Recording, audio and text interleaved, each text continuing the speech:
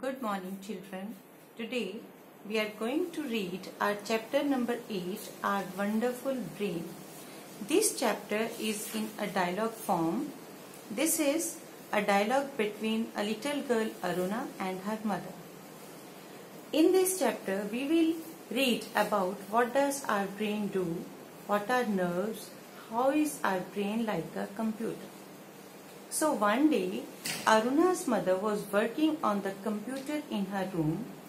Aruna comes in. She is very angry because her friend Vivek said that she doesn't have a brain. She comes to her mother. Mother tells her that all creatures have brains and she has a very good one.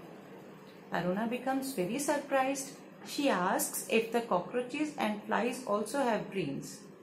Then mama says that yes, everyone has the brain, uh, but we have a cleverer brain than theirs.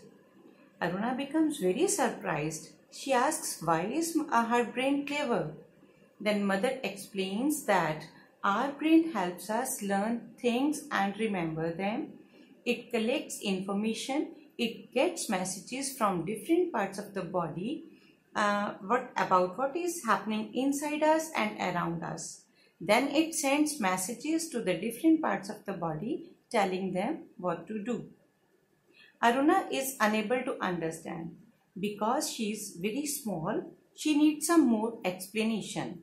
Then mama tells her again. She gives an example of a mosquito. Suppose a mosquito bites you on the neck. The nerves in the neck send a something is biting message to the brain. Then the brain decides what should be done.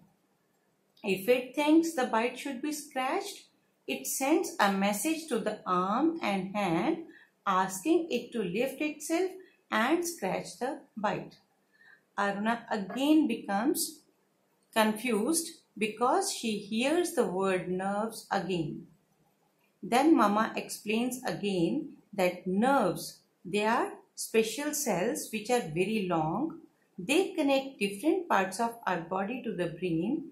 They let the brain receive and send messages or information to the different parts of the body.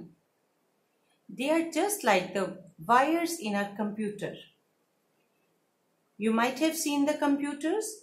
It takes the wires in the computer take the information you type on the keyboard to its memory. Then the computer sorts out. Sorts out means separates and arranges the information and tells us what to do with it. Aruna asks if the brain is a computer. Then Mama tells her again that the brain is not like a computer. Rather, the computer is like our brain. Even then, there is a very big difference between the two. Which two? Brain and the computer. Aruna asks about the difference. Then Mama tells that you have a brain. So you know you are here means you are conscious. You are aware. But a computer cannot be aware of itself because it is just a machine. We can think and dream and imagine. We can think of a story we can do all that without someone telling you to do it. But a computer cannot do anything that it hasn't already been told to do because a computer is a machine and it is uh, programmed to do the things. It can do only those things which are uh, which are fed in it. But a brain is very much different from it. We can feel things. We can be sad or happy or angry or upset. But a computer cannot feel things. Means human brain, uh, human brain is a wonderful thing. Aruna is very happy now. She is very surprised but satisfied too. She thanks her mama because she has told her very important thing. Now she is very curious to tell Vivek all about her wonderful brain. In this chapter, the writer has given some extra uh, information, some facts about the human brain.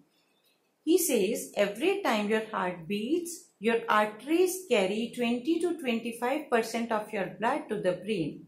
The harder you think, the more oxygen and fuel your brain will use from your blood, up to 50%.